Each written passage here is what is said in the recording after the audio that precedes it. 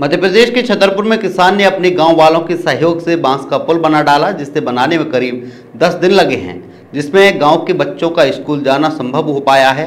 और आपको बता दें, अपने खेत में आसानी से लोग जा आ सकते हैं। दरअसल पाँच से छः महीने से बारिश होने पर रास्ता पानी में डूब जाता था, जिससे ग्रामीणों को काफ़ी परेशानियों का सामना करना पड़ता था।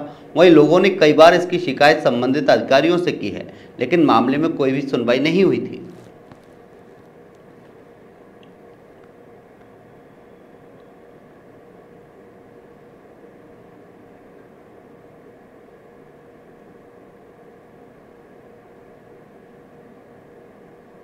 हम लोगों को स्कूल जाने में बहुत प्रॉब्लम होती है।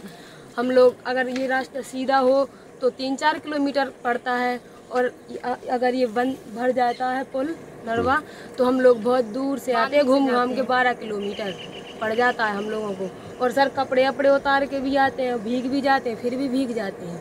और कभी कभी तो स्कूल भी नहीं जा पाते? हम लोग जब लगभग पंद्रह साल से ये सारा ये सारी मुसीबत देखते आ रहे हैं और बच्चे जो यहाँ से निकलते थे तो देखते तो थे, लेकिन कोई बस नहीं चलता था कि किस तरह से, क्या रास्ता अपनाया जाए तो ताकि ये बच्चे आराम से निकल सकें।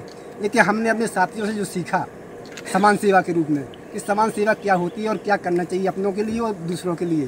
तो हमने फिर विचार किया सब ग्रामीणों ने कि क्यों ना अपना हाथ से कुछ ऐसा कार्य करें कि ताकि व्यवस्था बना सके।